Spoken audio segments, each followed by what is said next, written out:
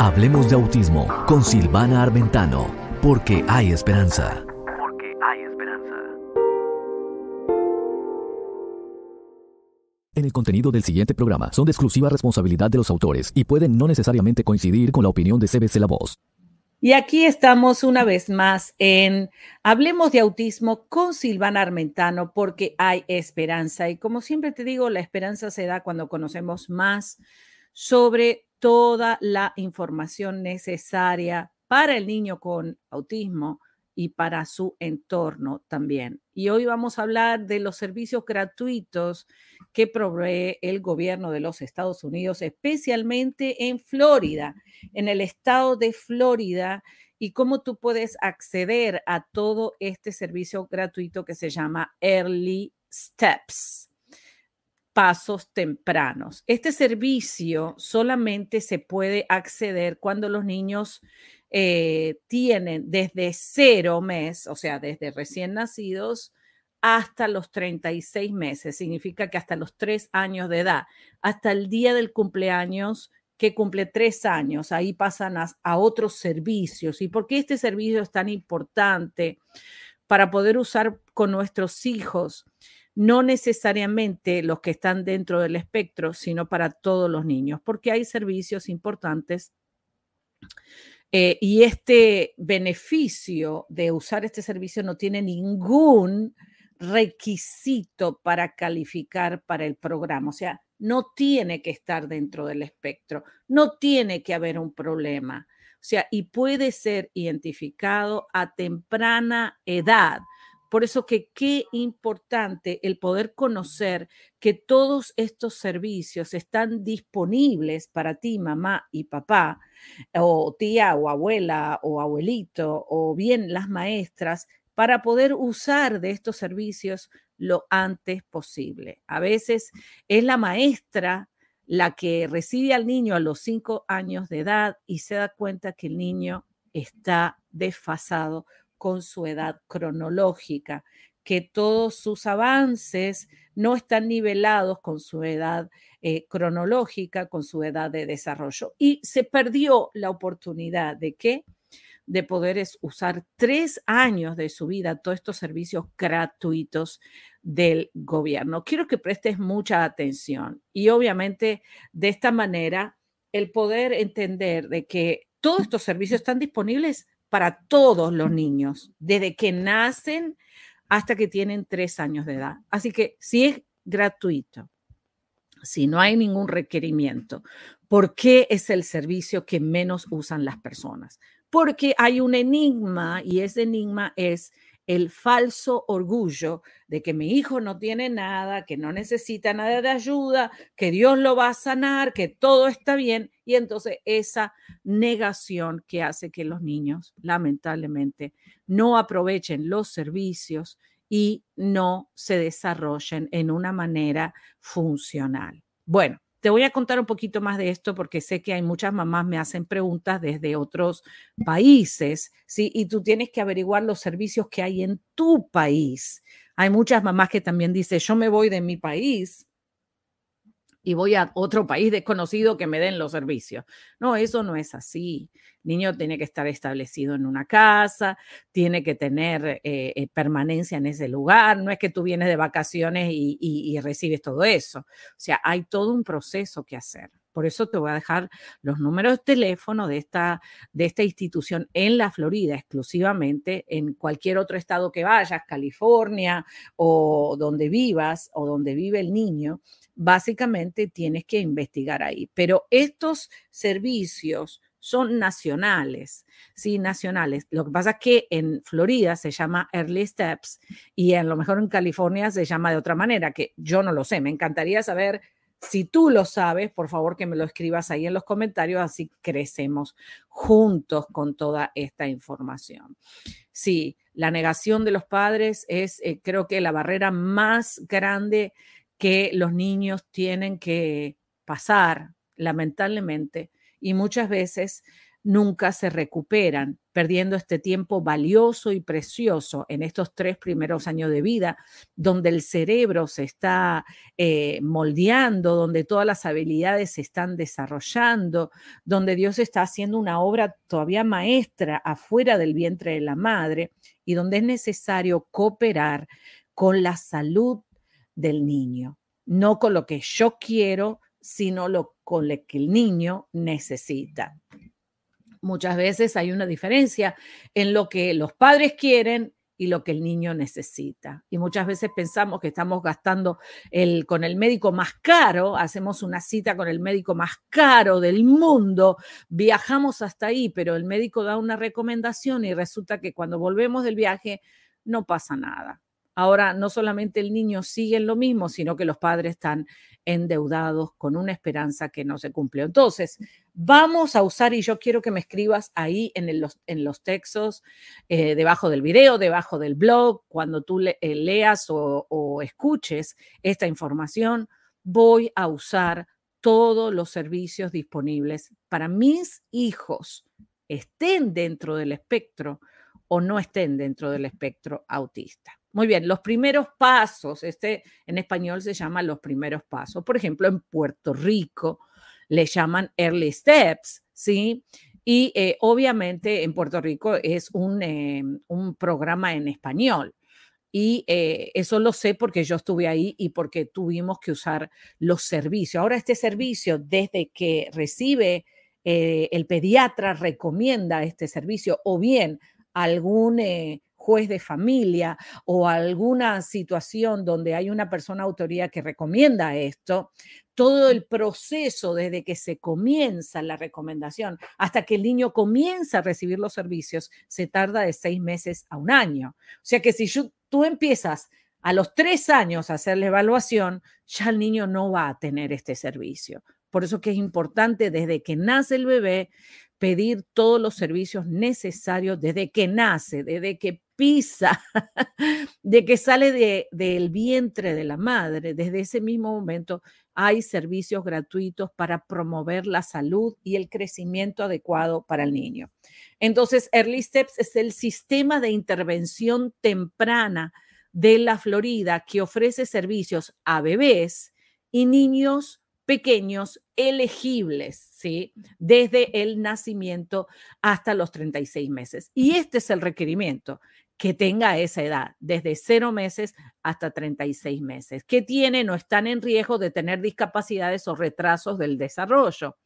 También tiene otros servicios como la observación de eh, la audición y pequeños estudios que se pueden hacer gratuitos y evaluaciones gratuitas para ayudar a los padres a poder tener una mejor eh, fotografía de cuáles son, cuál es el estado del niño en el área de desarrollo. La intervención temprana apoya a las familias y a los cuidadores para aumentar la participación de sus hijos en las actividades y rutinas diarias que son importantes para la familia. Las experiencias positivas del aprendizaje temprano son cruciales para el éxito posterior en la escuela el lugar de trabajo y la comunidad. Las investigaciones muestran que las experiencias más tempranos de los niños eh, juegan un papel fundamental en el desarrollo del cerebro. Y eh, esto es importante, o sea que cuando jugamos con el niño chiquito, cuando jugamos con el bebé,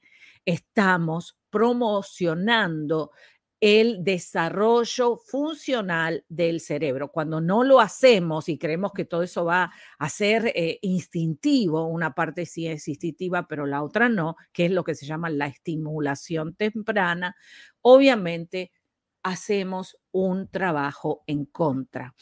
Eh, Early Steps, hay 15 locales de Early Steps en los diferentes condados de la Florida. En todo el estado reciben referencia. Cuando tú entras a la página de Early Steps, simplemente te vas a tu Google y escribe estas palabras, Early Steps o primeros pasos servicio del gobierno en la Florida y lo vas a encontrar rapidito, rapidito. O sea, lo puedo encontrar yo en un momento, cuanto más tú que no estás grabando, que no estás saliendo en vivo, ¿no? Así que no hay excusa. Si tú quieres ayudar a tus hijos, vas a estar pendiente desde temprana edad. Los bebés y niños pequeños se evalúan en los siguientes dominios de desarrollo para determinar la elegibilidad físico, cognitivo, comunicación, socioemocional y adaptativo. Cada niño recibe un plan de apoyo familiar individualizado que se llama IFSP o EFSP, eh, Plan de Apoyo Familiar Individualizado, que satisface sus necesidades únicas. O sea, van a hacer una evaluación y medir cuánto el niño está haciendo ahora y cuánto debería estar haciendo ahora. Y entonces esa diferencia entre esos dos niveles a través de las ayudas, terapias, juegos, aprendizajes, lo van a nivelar para que el niño siga creciendo a la edad de desarrollo que sea similar a la edad cronológica, para que no se atrase luego en más áreas educacionales y obviamente eh, el niño sufra en toda su vida el no haber intervenido a tiempo desde pequeño. Los servicios apoyarán a los niños en sus comunidades donde viven, aprenden y juegan. No hay requisitos de ingresos para calificar para el programa, o sea, eh, el millonario como el de más eh, escasos recursos, ingresos financieros o como eh, la media, ¿no es cierto? Como la gente que está en la, en la parte mediana financiera. Eso no importa, no importa el lenguaje, no hay requisitos. Y para el programa, aunque las familias pueden optar por permitir el acceso al seguro o a los beneficios de Medicaid y no se les cobra por el servicio. El número de teléfono para llamar en tu área, ¿sí? Y ahí vas a primero entrar al website, entrar a la página de internet que ya te dije, se llama Primeros Pasos, Departamento de Salud de Florida. Y eso mismo lo vas a ver en cada departamento de salud de los diferentes estados. Y tú lo puedes buscar en tu país. Algunas personas de Colombia me preguntaron, bueno, hay que buscar en el Departamento de Salud de Colombia cuáles son los servicios para, eh, para tus hijos, ¿sí? Y debe de haber, yo estoy segura que tiene que haber. Lo que pasa es que a veces hasta que no, uno no lo necesita, no sabe que existe. El número de teléfono, entonces, es el número 1-800-218-0001. 1-800-218-0001 y puedes hablar ahí también en español. El programa estatal de mejoramiento sistémico los programas de intervención temprana a nivel nacional dependen de un plan estatal de mejora sistémica. Y esta es la otra cosa que vas a buscar, plan estatal de mejoramiento sistémico. Y el propósito de este plan de Florida, de Early Steps, es implementar políticas y prácticas efectivas y sostenibles al nivel estatal y local para impactar positivamente el desarrollo socioemocional de bebés y niños pequeños con discapacidades de 0 a 36 meses. Ahora, si tú tienes una sospecha, ¿por qué esperar a que la maestra lo sospeche? Tú que eres la mamá y el papá, debes de estar bastante avispado, ¿no es cierto? Y esa es la palabra correcta, avispado para que no sea otro el que lo descubra. Qué vergüenza, ¿no? Qué vergüenza. y lo digo, lo digo porque sinceramente dejamos que sean otros los que, que descubran que el niño necesita una ayuda. No debería ser así, deberían ser el papá, la mamá exclusivamente que está con el niño. Entonces, ¿dónde que está la mamá? ¿Está la mamá con el niño o el niño simplemente está por ahí? Eh, eh, por eso es que es importante conocer del desarrollo.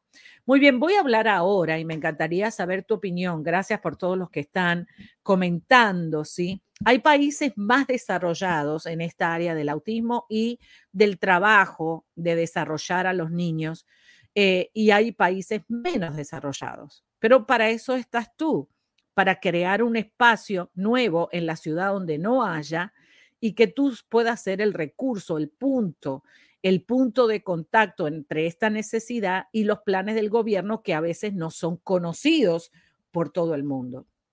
Muy bien, hay servicios médicos gratuitos para los niños, ¿sí? Y, tú moverte a otro lugar sin averiguar lo que tienes donde estás, sinceramente, eh, tienes que pensarlo varias veces. Primero, investiga dónde estás para que también salgas habiendo agotado todos los recursos que hay en el área donde estás viviendo ahora.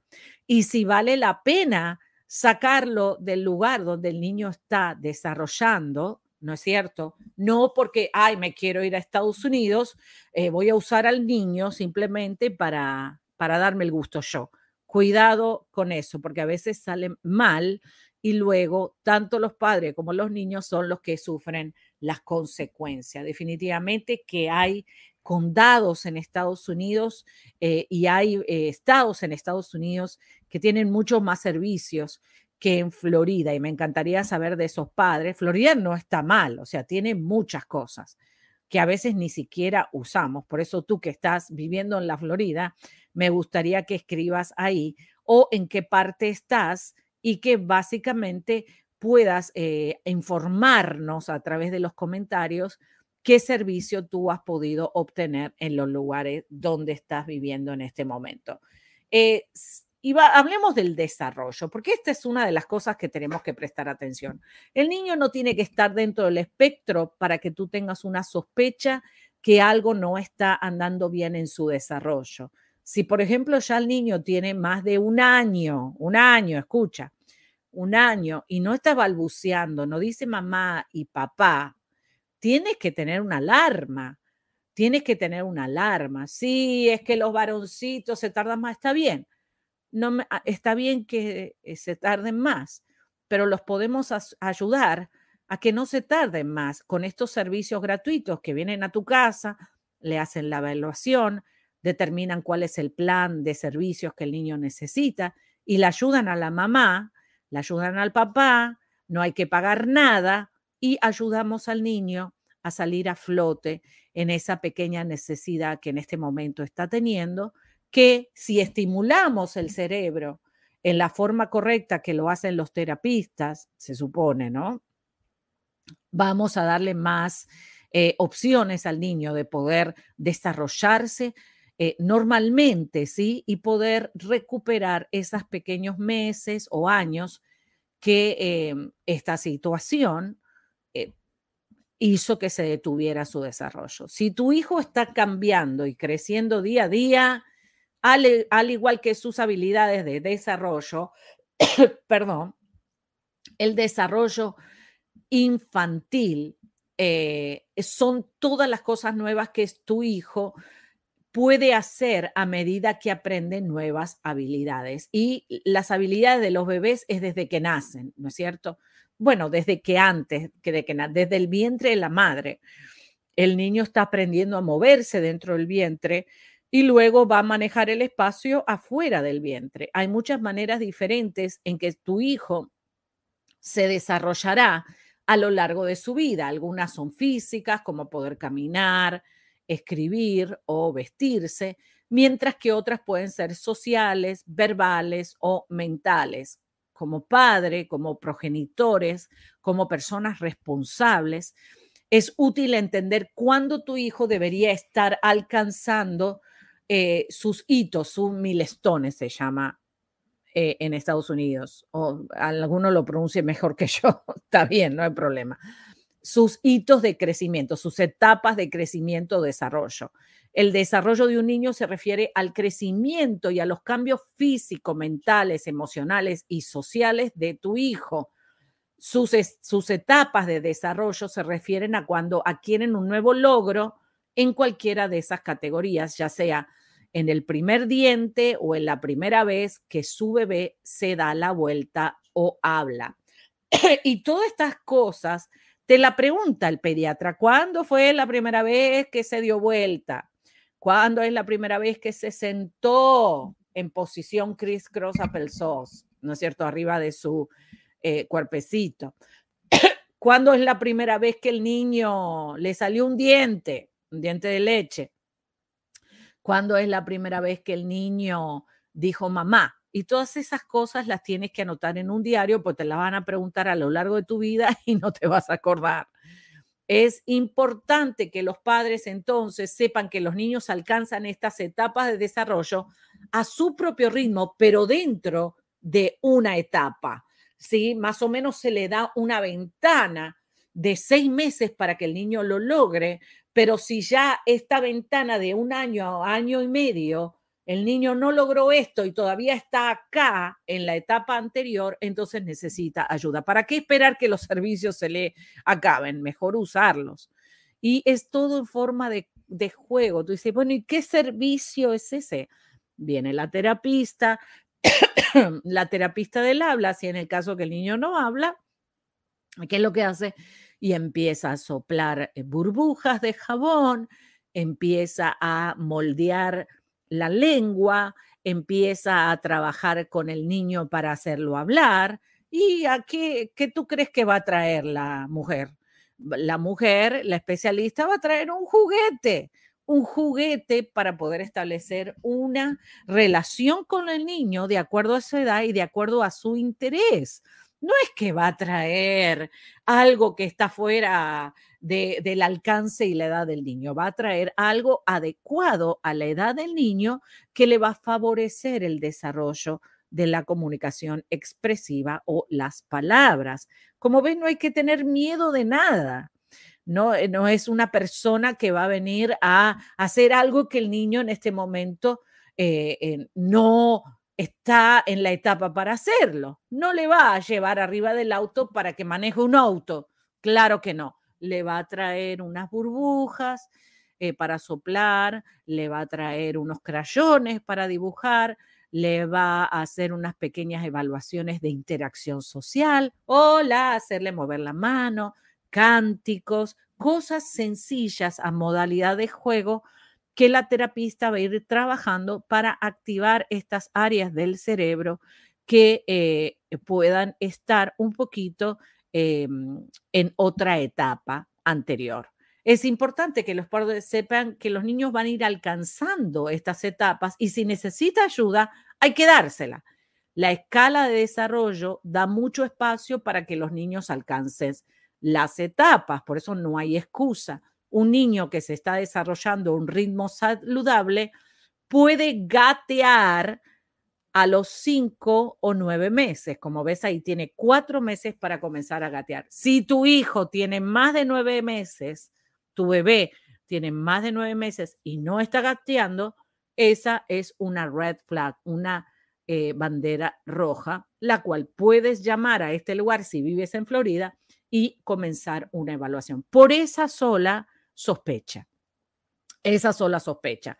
Entonces va a venir la evaluadora, va a empezar a hacer unos cuestionarios, hacerte preguntas a ti, hacerles actividades al niño en forma de juego para ver qué el niño puede hacer en este momento y determinar en qué edad de desarrollo él está funcionando o en qué etapa de desarrollo está funcionando. Entonces, eh, los padres no deben entrar en pánico, por favor. el, la negación de los padres es de que no quieren enfrentar que el niño necesita ayuda. Ay, como padres tan perfectos con una gen, con, con genes tan perfectos pueden tener un niño imperfecto. No, a lo mejor el niño es más perfecto que ellos. Es que necesita un poco de ayuda, como para atarse los cordones o subirse la ropa o cambiarse el pañal o hacer pipi. Eso no es ninguna, ninguna gravedad hay que enseñarle al niño todas esas cosas de acuerdo a la edad que está teniendo. Y generalmente vemos que los padres entran en negación porque les da vergüenza de ellos mismos, no del niño. Le da vergüenza de ellos mismos, de cómo un gen tan eh, exclusivo, ¿no es cierto? Y perfecto pudo eh, reproducirse en un niño que tiene ahora una necesidad especial que ellos no han tenido. A lo mejor sí pero lo tienen en secreto porque les da vergüenza. Así que los padres no deben entrar en pánico si su hijo no ha alcanzado alguna etapa, sino trabajar para que las logre. dentro del periodo del tiempo exacto indicado, sino buscar ayuda y esta es la ayuda gratuita para todo niño que está en el, eh, la Florida.